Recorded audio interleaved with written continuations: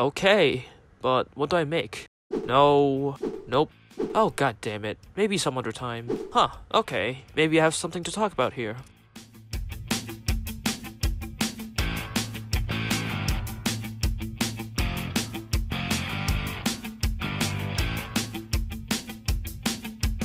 So I found this game on my recommendations tab. Sometimes it could give you a decent game to play. Sometimes. But hey, we have another Roblox fighter that manages to be unique and actually fun to play. Or to me anyway. I haven't really played any other boxing game on here. If you don't know what Untitled Boxing Game is, it's probably an anime fighter? I can't really tell. That doesn't constantly ask for money and actually plays surprisingly well despite having really simple controls. I'll talk about why, but I really gotta point out how this game actively calls itself non-pay to win.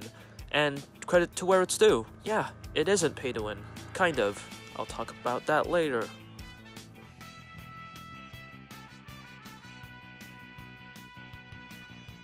Before I actually talk about the combat itself, since that's the main bit and it's a boxing game, I obviously have to go over the combat. I should probably talk about some other stuff first.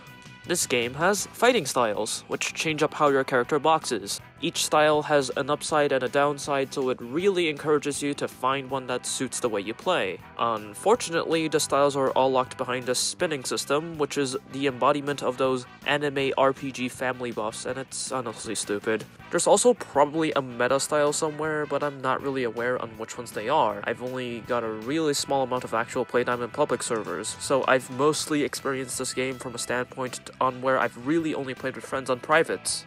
To be fair though, I actually did get on a public once, and I managed to get two people to rage quit. So, uh, that's cool. Thankfully, the game gives you plenty of spins, from daily login rewards to quests and some codes. There's also gloves you can get with the currency in the game, and they're unboxed from crates. And there's an extremely rare chance for you to get an unusual effect on them, yeah, they're just cosmetics. I don't have much to say about those. Well, thank the devs for not adding a trading system yet. Oh god, if only there were a trading system. Oh boy, I can't wait to not play the video game and see nothing but traders on the public server. That's gonna be fun.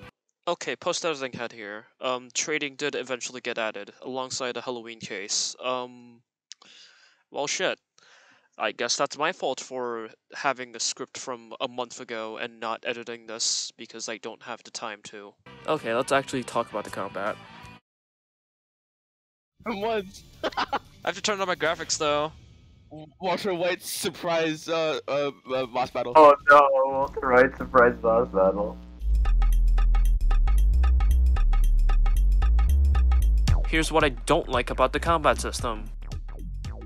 Yeah, that's literally it. The system in here feels extremely solid and hella satisfying to play in. Looking at this, it should be simple enough to understand. You have light punches for basic attacks and pressuring, heavy punches for slightly bigger damage and even better pressuring, blocking for defense, dashes for either dodging, getting close to confuse enemies, or whatever the hell this is, with Ghost and an ultimate attack, which slowly charges up, and you can hit people with it and it does a ridiculous amount of damage. Let me break down some specifics here. Dashing at the right time allows you to outright dodge an attack and immediately allow a punish, even though it's super inconsistent, I'll explain later. If you manage to time a punch that's faster than your opponent's punch, it will be considered a counter, which does more damage.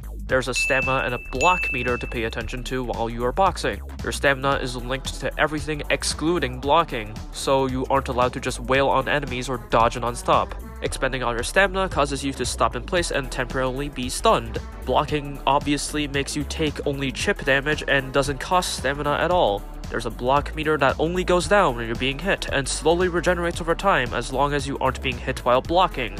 While light attacks and ultimates do barely anything to your block meter, heavy attacks can put a serious dent however.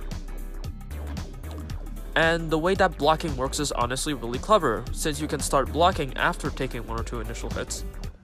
You are given a choice to either take the damage or to block and take less, potentially allowing your opponent to run out of stamina for wailing on you too much. So you can initiate a punish and you get to pressure them afterwards. But you can't block too much though. You'll get block broken and be stunned for a little bit more than a stamina break. Put all of that together with really well made animations, mild but still noticeable screen shake, and a usually smooth experience if you aren't recording with a screen capturing software like I am, then you get an absolute blast of a fighting game that isn't trying to pry open your wallet. Speaking of wallets and money,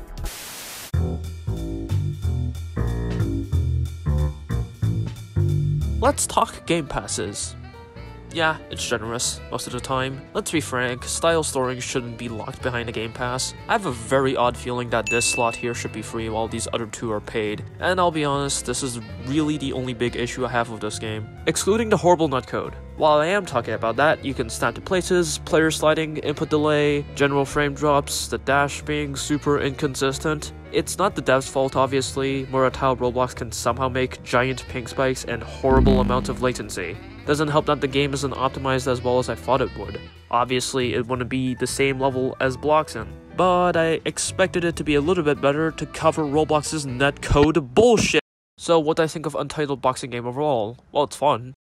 Yeah, that's about it. It's really fun. Just play it if you want a fighting game that isn't horribly imbalanced or just really money hungry. The only real issues I have is this and just generally as to how boring it can get if you play it for too long. So, yeah. I just realized I haven't written an outro in the script.